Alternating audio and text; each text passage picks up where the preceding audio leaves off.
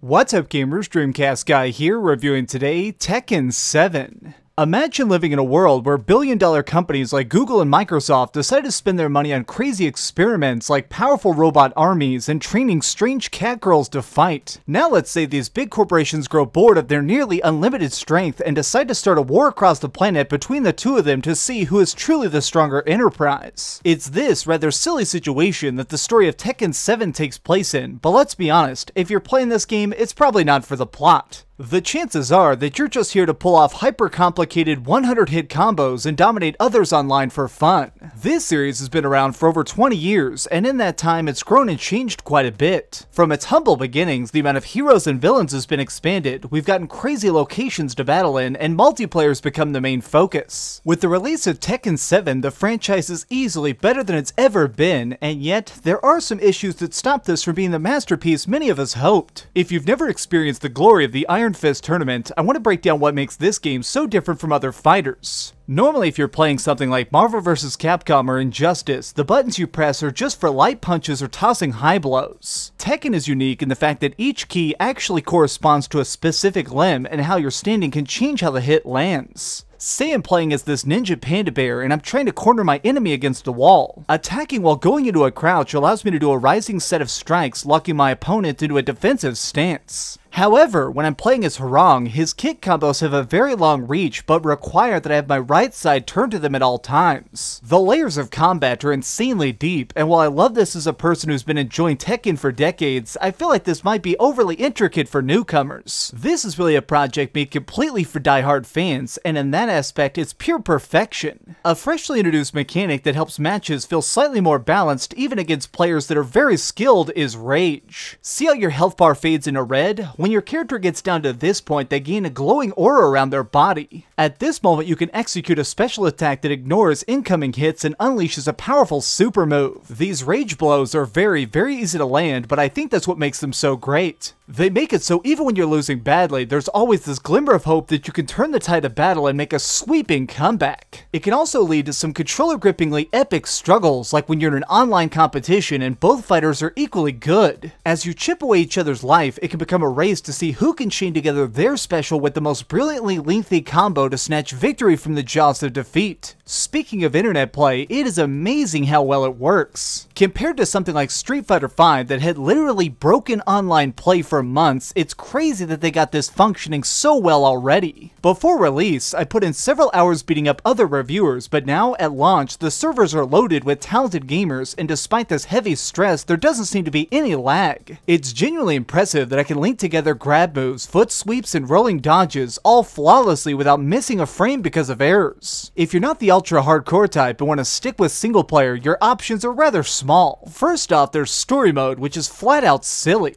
Seeing these mega corporations vie for control of the globe is so over the top that you can't take it seriously. There are notes from a journalist talking about the horrors of conflict and the scars it leaves in your soul. And yet, right afterward, the game tells you to press punch to throw a little boy off a cliff. It is so laugh out loud funny, and I'm not sure that's what they were going for. Unfortunately, this humorous story is over in less than 4 hours, leaving you with only two other things to try in offline play. There's Arcade, which has you completing rounds against increasingly better opponents, and Treasure Hunter, a ladder style match that lets you earn cash and cosmetic awards. Perhaps the strangest addition to Tekken 7 is fully customizable characters. This goes far beyond altering the color of outfits. You can give people machine guns, giant pizzas, or just make them look like an evil, sexy skeleton. Nina is one of my favorites to take in a battle, and assembling such a wacky costume was very entertaining. All around, the combat is fantastic, the pacing is insanely good, and the learning curve isn't too steep. What does feel weirdly lacking though with this game is that I wish we had more characters. It's not that we don't have a decently large roster, it's just that it's noticeably smaller than previous entries and we're missing some of the best brawlers in the series. While I do find it cool that we're getting new characters like Akuma, it just makes me think, where's Anna, or Lei, or even Bruce? These are classic heroes that deserve a slot in the stellar game, and yet sadly they were left out. Okay, so we've heard some good and some bad, but let's over the ratings board and put a big number on it.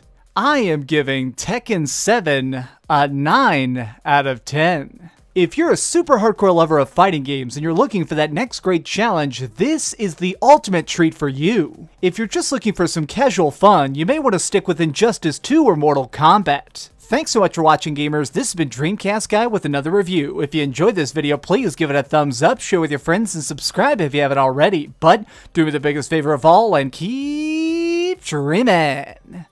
These are classic heroes that deserve a slot in this stellar game, and yet they were sadly left out. Okay. I